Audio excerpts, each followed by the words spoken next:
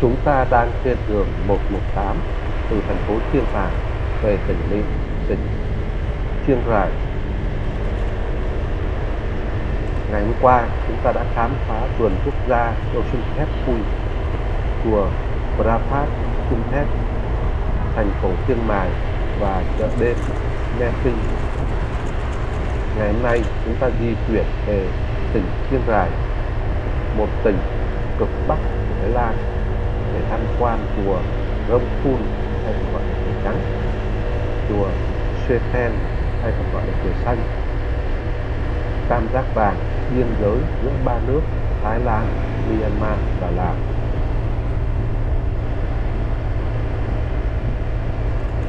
Đường 118 này dài khoảng 160 km nối liền thành phố Chiang Mai đến thành phố Chiang Rai. Cung đường này chỉ đi qua vườn quốc gia đồi Puche tên là độ cao không lớn, đèo dốc không nhiều, đường rộng bằng phẳng, khá tốt.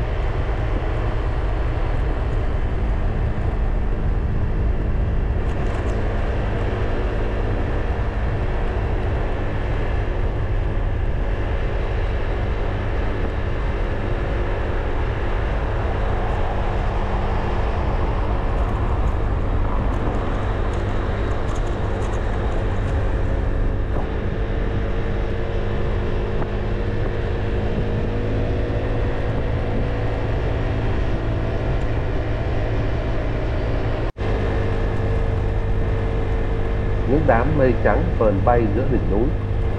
Đây là vườn quốc gia Punche, là một vườn quốc gia ở tỉnh Chiang Rai, Thái Lan. Vườn quốc gia này được thành lập vào năm 1995 có diện tích khoảng 270 km vuông. Trong vườn quốc gia này có thác nước Me Hachen, chiều cao hơn 100 mét và suối rất nóng có tên Me Hachen. Thank you.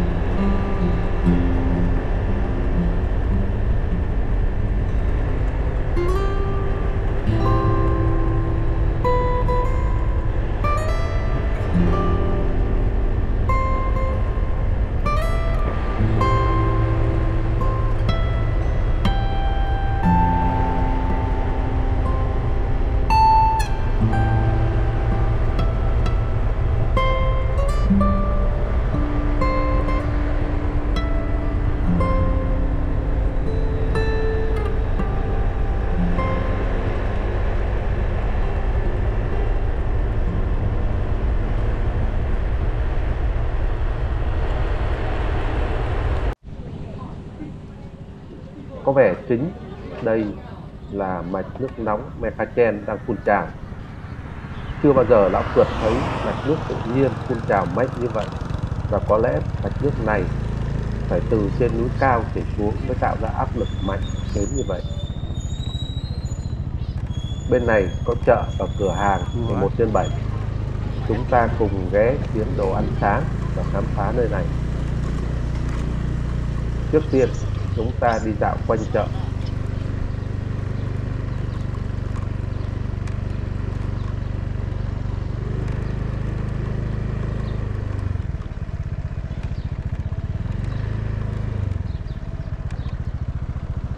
có lẽ còn quá sớm nên tiểu thương mới lục tục dọn hàng. Ở đây có hai hồ nước sôi sùng sục bốc khói, không biết có nóng lắm không? Nhiệt.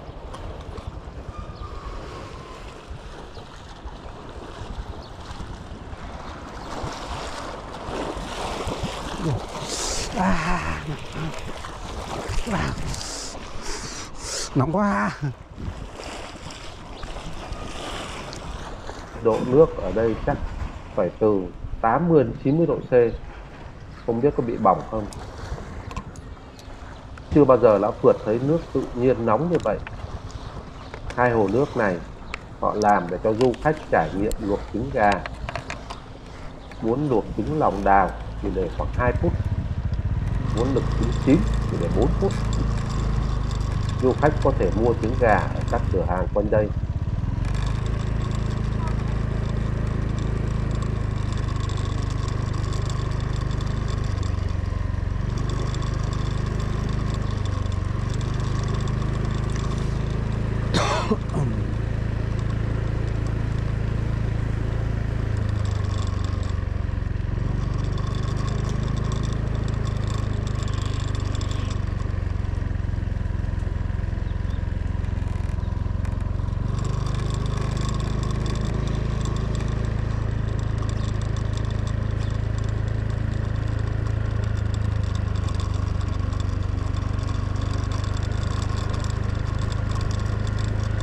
Được biết suối nước nóng này có nhiều khoáng chất như canxi, kali, magie có tác dụng tốt cho sức khỏe, giúp giảm đau nhức, thư giãn cơ bắp và làn da. Quanh đây có nhiều cơ sở cho du khách trải nghiệm tắm nước suối nóng. Suối nước nóng này nằm ở làng Me Chadiyai, cách thị trấn Wang Papao khoảng 10 km nhé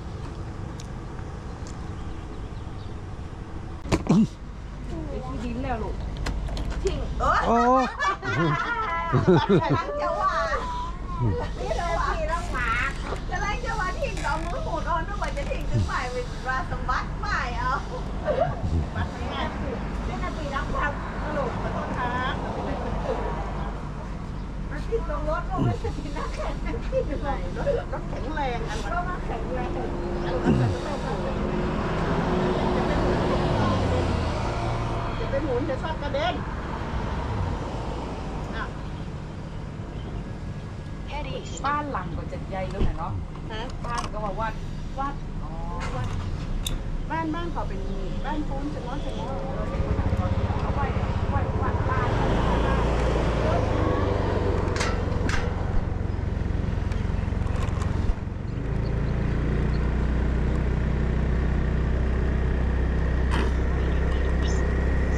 và đấy lão phượt ghé vào cửa hàng 11 trên 7 để mua một phần sandwich ăn sáng nhân tiện thấy bày bán tiện Johnny Walker, giá hợp lý để mua một chai.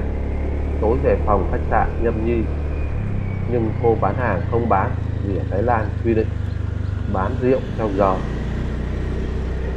Buổi sáng, chưa phải giờ bán rượu. Thật khâm phục, Thái Lan quản lý xã hội tốt, hay ý thức chấp hành pháp luật nghiêm một cửa hàng nhỏ ở một làng miền núi cũng tự giác thực hiện quy định bán rượu theo giờ. Hôm trước, ở vai lão phượt cũng phải nhịn uống bia vì vào ngày rằm, không ai bán bia rượu cả.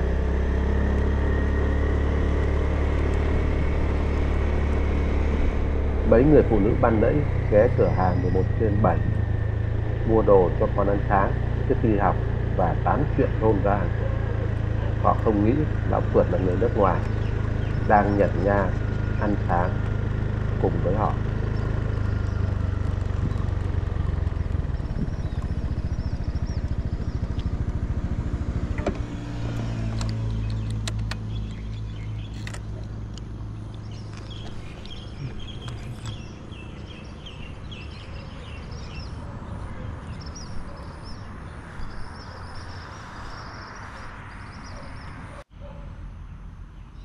lão phượt, phải quay lại tìm hiểu xem sao.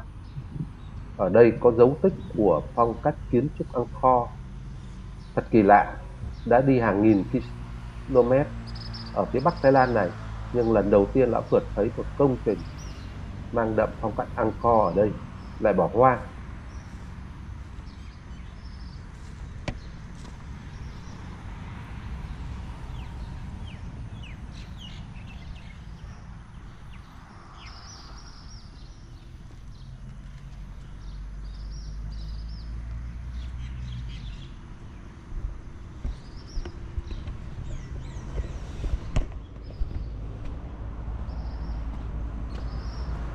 Lẽ đế quốc Khmer đã từng đến đây, nhưng tại sao không có ai duy trì trông nom, chăm sóc để hoang như thế này?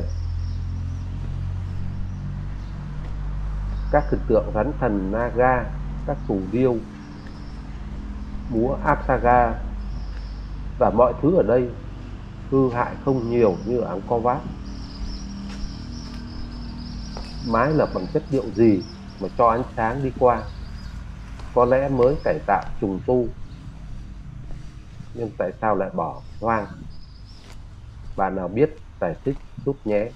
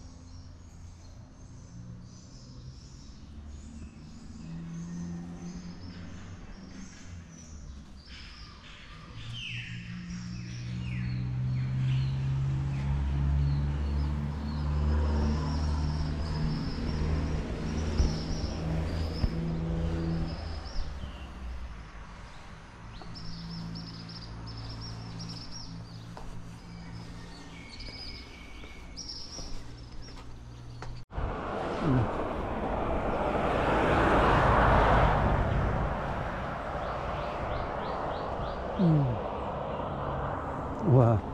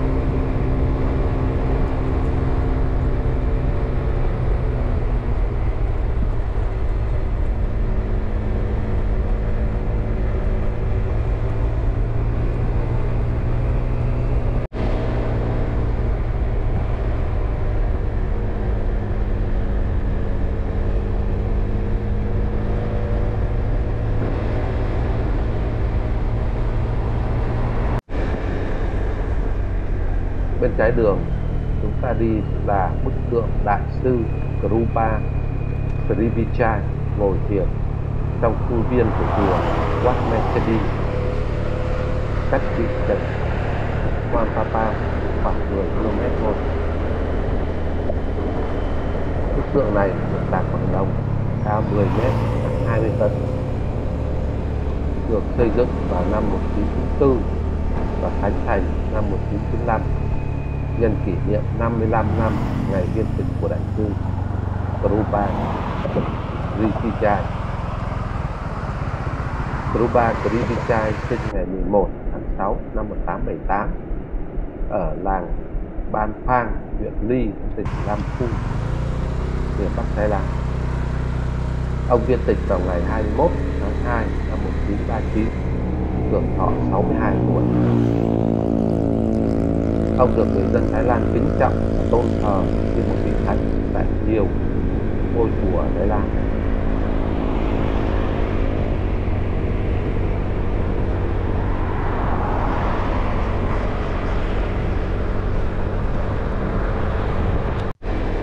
Krupa Srivichai có những đóng góp to lớn cho Phật giáo Thái Lan, đặc biệt là trong việc trùng tu và xây dựng lại các chùa chiền, tu viện trên khắp miền Bắc Thái Lan và thống nhất các nghi thức Phật giáo ở tỉnh miền Bắc này.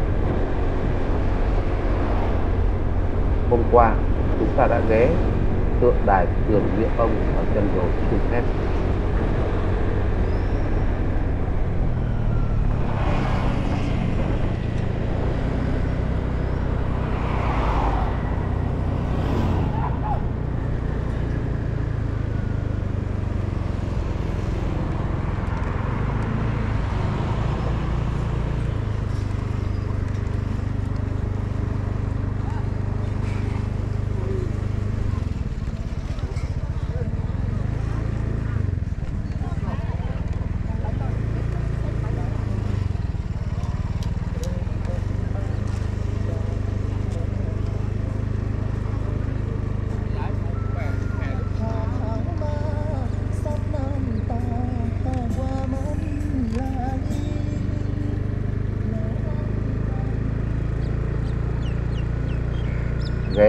Qua một chợ dân sinh buổi sáng ven đường, đang lục tục dọn hàng.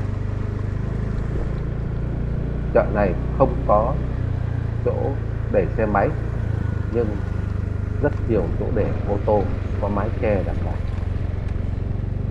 Mỗi tiểu thương đều có một xe bán tải, chở hàng hóa ra chợ và cuối ngày thu dọn hàng hóa về.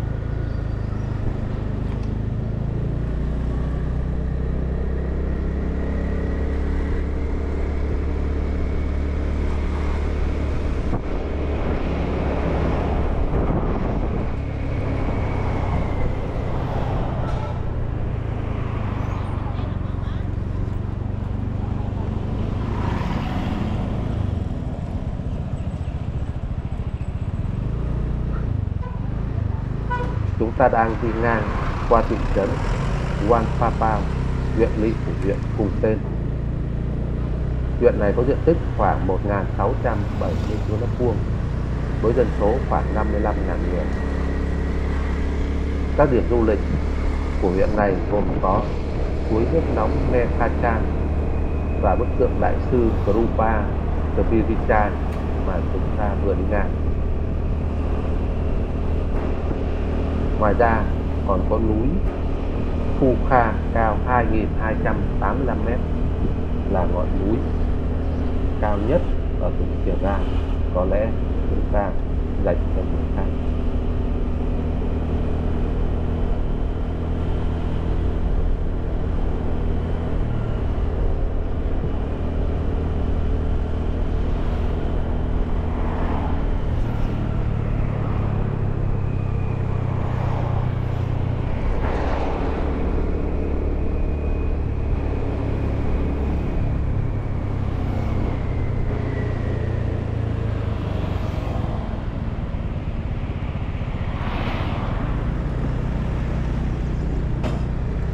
cũng như thị trấn Pai, thị trấn nhỏ bé này thì có con đường trục xuyên qua là đường 118 này.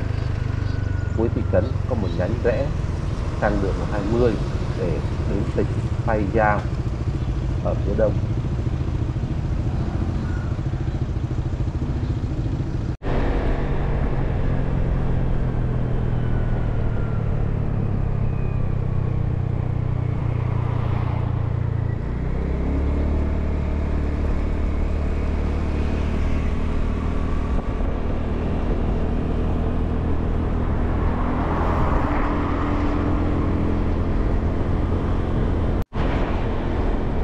Hôm nay biết lão Phượt vì hành đến Quang Papa như tất cả cảnh sát ra đường điều khiển giao thông.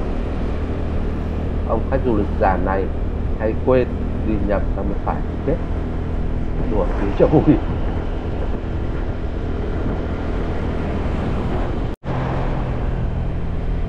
Thật ngạc nhiên, chỉ có vài cây số thị trấn mà có đến một điểm có cảnh sát giao thông điều khiển. Có lẽ sắp có đoàn quan chức nào đi ngang hay chỉ là chuẩn bị đón học sinh đến trường vào buổi sáng như ở thị trấn Phan.